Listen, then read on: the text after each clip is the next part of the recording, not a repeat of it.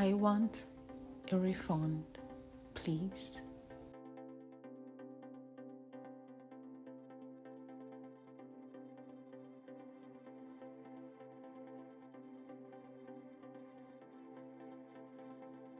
I'm sure a lot of us who are in business must have heard this before.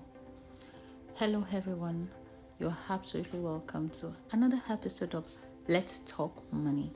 Today, I will be talking about what you, as a small business owner, could do when a customer requests a refund. Call me Mo. I am a business owner and I share content relating to business, finance, and other related topics from time to time. So, the topic I will be discussing today is how you should react or handle a situation where your customer requests a refund. And before I get right into the video, I'd like to share a quick disclaimer. Thank you to everyone who's joining. If you are a first time here, you're absolutely welcome. And if you are returning, thank you so much. Please note that the information I will be sharing here today should be treated solely as an educational piece and should neither be treated as a business, finance, advertisement, non legal advice. Now, the question we often ask ourselves is why are refunds made or requests for refunds made? Customers often request refunds on an array of reasons. One could be that they are not satisfied with the products that it got from you. Other instances could be that the product was defective at the time they received it from you. Another situation could just be that the customer just wants a refund. Sometimes customers become dissatisfied in the cost of them buying products from you or even after the product has been purchased. You could be surprised that a customer that once said, Oh, I love this item, I like how this item looks, calls you or gives you, sends you a message and says they just want a refund of that item. So, what do you do when such situation arises? I'd also like to say that at this point, you have to look at the situation, be calm, because really it is sometimes inevitable. Sometimes you did nothing wrong. In some cases, a customer just wants a refund and there's really nothing you're going to do about it, so to speak. But when such situations arise, how do you manage such situations? And that's why I'm making this video. And particularly for businesses who have or who aren't so used to such situations and who are wondering how to remedy the situation. So, if you had a customer who requests a refund, how do you remedy the situation? First things first, ensure that you are calm, regardless of whether or not you know what is going on. Apologize first for the experiences that a customer has with that product, and then ask necessary questions. Once you have asked the questions, begin your own investigation. So, for instance, a customer might say the product that they received was damaged or they never received the product at all.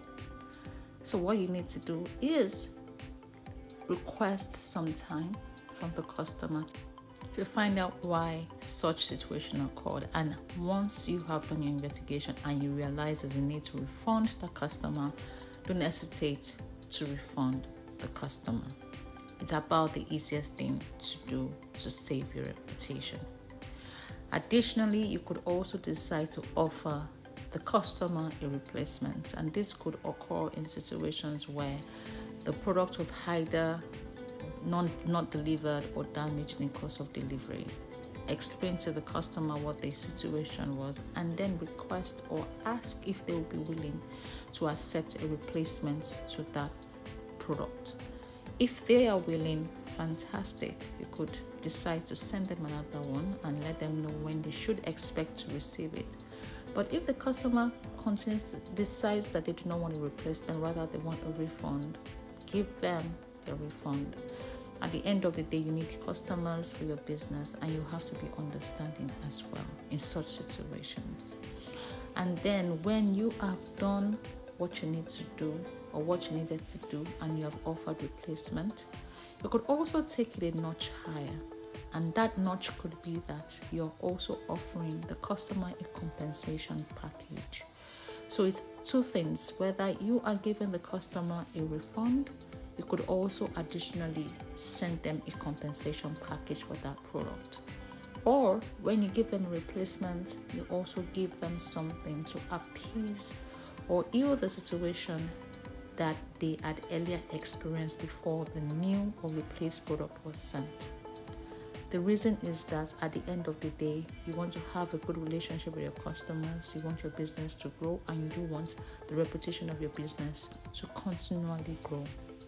Business is always a learning curve, no one has all the answers, but with the right you know information and the tools and the willingness for every business owner um, to want to do things right and also win.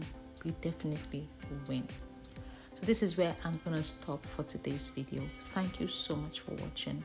I do not take this for granted in any way and i do hope that you have found value in this video. I also must mention that this particular video is also targeted as small business owners who are just starting out and who might just have one or two challenges and are unsure of how to handle those challenges, particularly when they pertain to their customers. I do hope you found value here. And if you are here, you feel so inclined to share this video with someone who just might need it, don't hesitate to. Thank you so much for watching. I'll see you in my next video. Call me Mo. I am a business owner. I share content from time to time relating to business, finance, and other related topics. I hope you did enjoy this video. Thank you for always listening. I'll see you in my next video. Have a wonderful evening. Bye.